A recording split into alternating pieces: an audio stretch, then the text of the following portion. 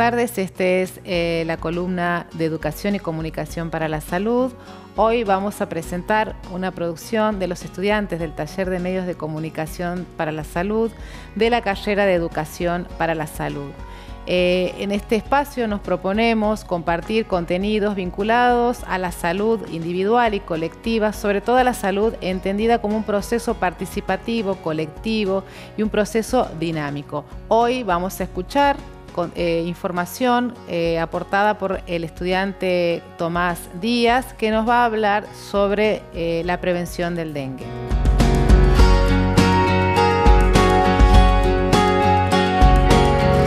Antes de definir qué es la enfermedad, qué es el dengue y sus implicancias, vamos a desarrollar un poco el contexto en Argentina de la enfermedad.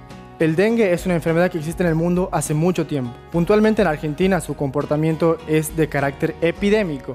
Los casos se presentan o suceden durante los meses de mayor temperatura en el país, de noviembre a mayo, en concordancia con los brotes en los países limítrofes de la Argentina.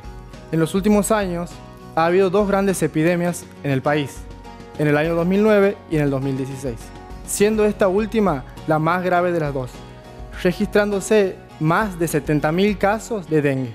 ¿Qué es el dengue? El dengue es una enfermedad viral que se transmite por la picadura del mosquito Aedes aegypti.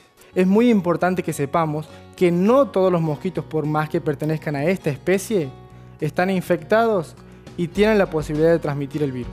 El contagio se da cuando un mosquito se alimenta de la sangre de una persona enferma con dengue. En ese instante es donde el mosquito se transforma en un vector que está infectado con el virus y que tiene la posibilidad de transmitirlo a una persona sana a través de la picadura. Para sintetizar lo que acabo de decir, el contagio se produce básicamente cuando un mosquito se alimenta de la sangre de una persona enferma y luego pica a una persona sana. En ese instante es cuando se produce el contagio de dengue. Este contagio también puede darse en el periodo de gestación, mediante la transmisión de una mamá infectada con dengue a su bebé. Los síntomas más frecuentes del dengue son fiebre alta, mayor a 38 grados. Pero atención a esto, sin presentarse síntomas de resfrío.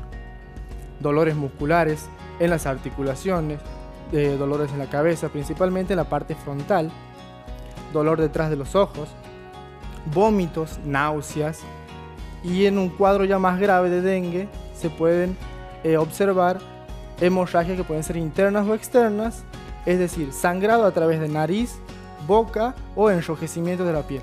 ¿Qué podemos hacer para eliminar los criaderos de mosquitos? Como no existe ninguna vacuna ni medicamento que pueda prevenir la enfermedad del dengue, la única actividad preventiva que podemos realizar es la eliminación de todos los recipientes que puedan contener agua en el interior y el exterior de nuestros hogares.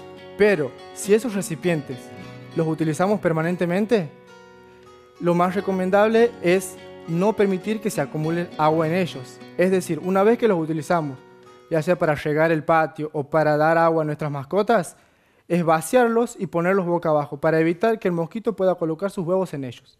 ¿Qué podemos hacer si sospechamos que tenemos dengue? Lo primero y principal es no automedicarse. Bajo ninguna circunstancia automedicarse. Ni con aspirinas, ibuprofeno, ningún tipo de medicamento ni inyectable. Lo primero que tenemos que hacer es concurrir al centro de salud más cercano a nuestro hogar, donde seremos atendidos por los profesionales debidamente. Actualmente, en Santiago del Estero existen en casi todos los centros de salud, incluyendo los hospitales, profesionales de educación para la salud, que están disponibles para proporcionarnos y asesorarnos sobre esta enfermedad o sobre cualquier otra implicancia en salud o cuestión que tengamos.